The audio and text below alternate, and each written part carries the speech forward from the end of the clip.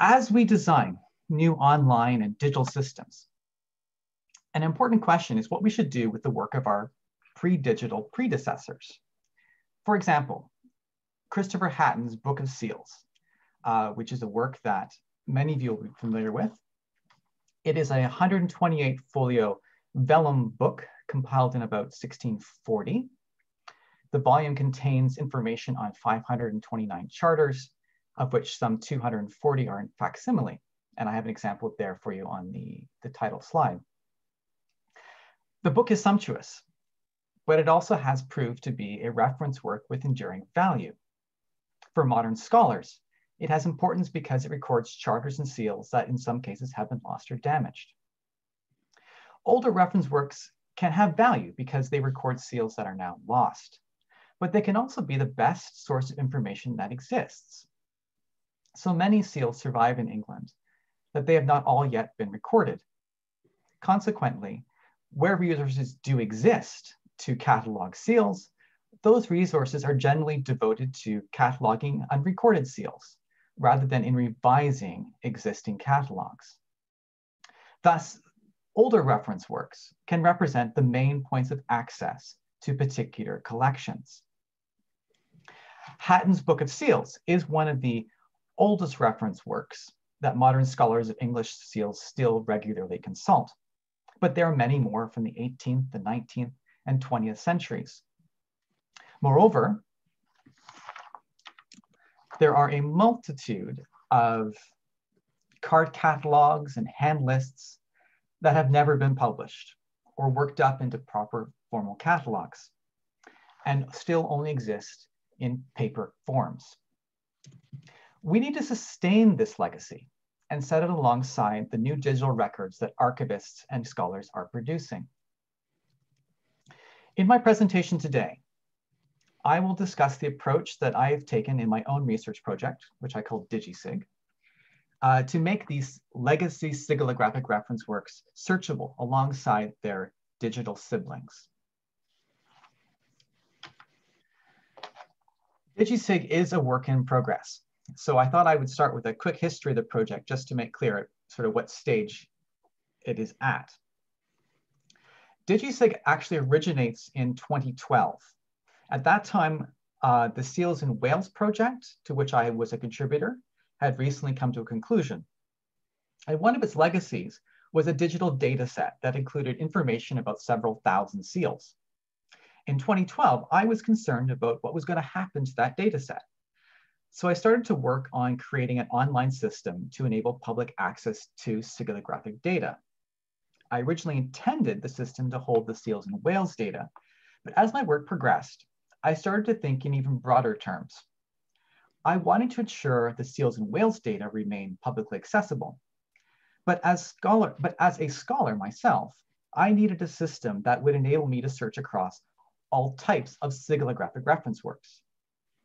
I soon found myself designing a system to enable public access to all forms of sigillographic information, from archives, museums, and private collections, as well as born digital resources and legacy reference works. The first version of that system was launched in 2014. And this is the, the charming screenshot I took of it at the, on the very early days. Uh, it got a little bit better in 2016. I put some more images on the front page and some help text, that kind of thing. But it was still fundamentally the same system. And now I'm pleased to announce I have a new version up, which just launched today. So I hope it, I hope you will enjoy it. And for the remainder of my talk, I'm going to be discussing the features of this new revised DigiSig and what it can do. So one of the first challenges that confronts any digital project that wants to make use of information contained in non-digital sources is that those sources have to be converted into a format that a computer can understand. And this can be done in a number of different ways. DigiSig's design philosophy is to retain, insofar as possible, the integrity of the original. For example, Walter de Grey Birch's catalog of seals is a key component of DigiSig's dataset. This late 19th and early 20th century work remains a main point of access to collections in the British Library. The work is available in a PDF, but not as structured data that can be searched effectively within a database. For DigiSig, I use the Transkribus text recognition platform to transform the PDF into a machine readable text. Then I use that data to create an image for each entry. Do I have a picture of that? Entry. And to identify the document reference. I then created a unique identifier for the entry, the seal, the manifestation, the seal impression, the matrix, the cast, the support, and the item to which it is associated. This is the basic pattern that all sources are fitted into when they are integrated into DigiSig. Now this skeleton is actually exposed within the DigiSig system. So let me show you how that works. So this is the form that you use right now to access seal descriptions. Uh, there is a set of filters over here, which I'll discuss in a moment. And these are your points of entry you can click on these links to take you through to, in this case, we're gonna follow this link here to look at the seal description proper. And here you can see you're presented with effectively an image taken from the PDF of the digitized catalog itself. So what we're doing here is we're creating these entities. These entities have numbers. You can click on them to follow to the various components uh, within the system.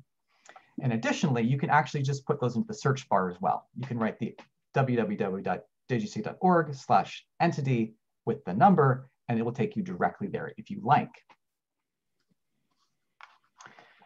So what you end up doing is you follow those links to various places. In this case, you were on this seal description page. This is the page for this entry within this particular catalog.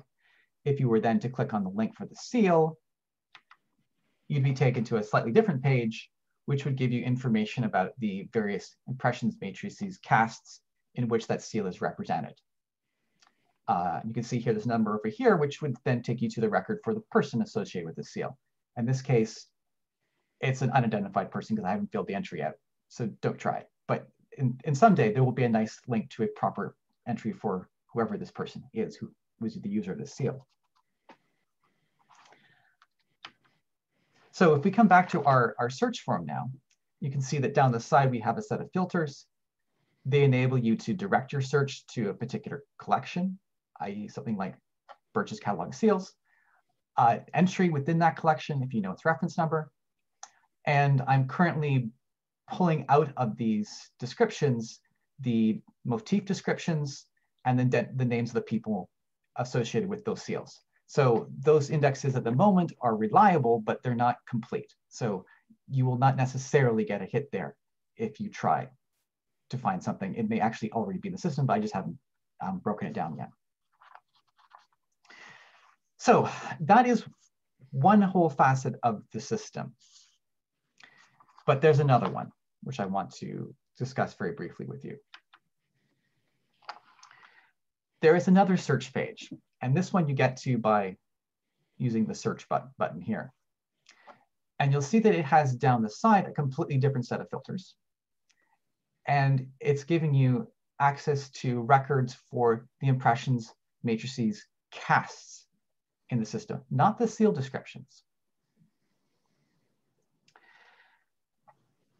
So this search system enables users to, to filter a search by items of metadata that mainly relate to the manifestations of the seals as physical objects and as features of documents. When users perform searches on this page, they need to be aware that the filters use controlled vocabulary that is particular to the DigiSig project. Now, the reason for this shift is because the metadata that catalogs employ varies in format. When we have stuff in the system from the 19th century and the mid 20th century and stuff that's contemporary, they're all using slightly different vocabularies. And if you just run searches on those terms within the system itself, you get unpredictable results. So a further layer of metadata is imposed in DigiSig. Uh, for example, we have uh, some catalogs use the term vesica for pointed oval seals. DigiSig rectifies that sort of discrepancy. Perhaps the most um, complex filter is the one for class, which is down there at the very bottom. Uh, the language that scholars have used to describe seals and their motifs varies from catalog to catalog. And so uh, DigiSig's approach is to insert a system of classification. This system of metadata is superimposed on top of these seal descriptions and is separated from it and is particular to DigiSig.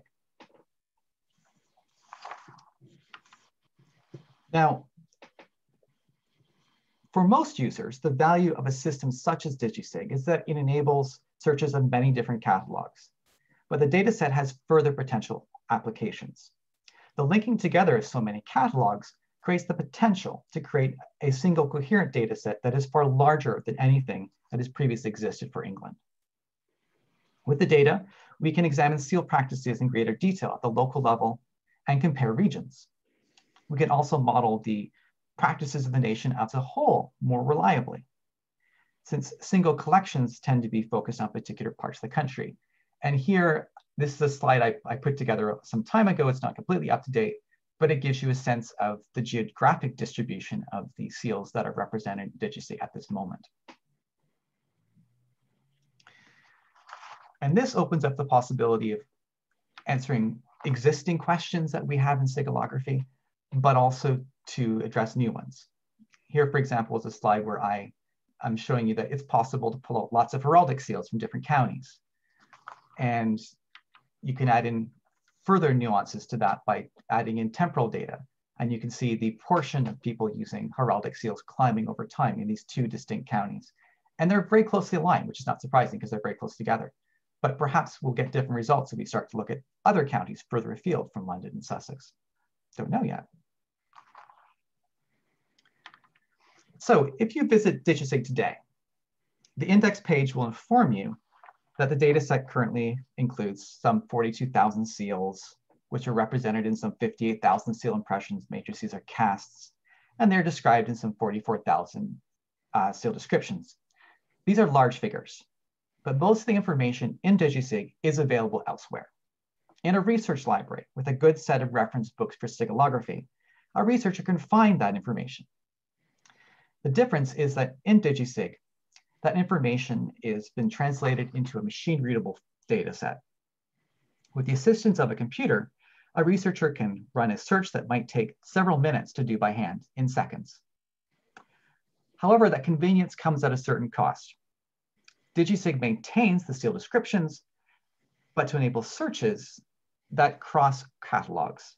DigiSig imposes a data structure on the information that conceptualizes the seal as a multi-entity object with a seal description, a seal, an impression or matrix, a support, and an item, all conceptualized as separate entities. This allows for the linking of catalogs, both with other catalogs and with records for the charters and documents to which they are attached. Then DigiSig adds a superstructure metadata to enable more predictable search results across catalogs with heterogeneous cataloging systems. This is one way we can ensure that the valuable information in our pre-digital sigillographic reference works could be integrated with our born digital catalogs. It would allow for more reliable searches and would create the possibility of using the entirety of the available information to address long-standing questions in English sigillography and to open up new questions. Thank you very much.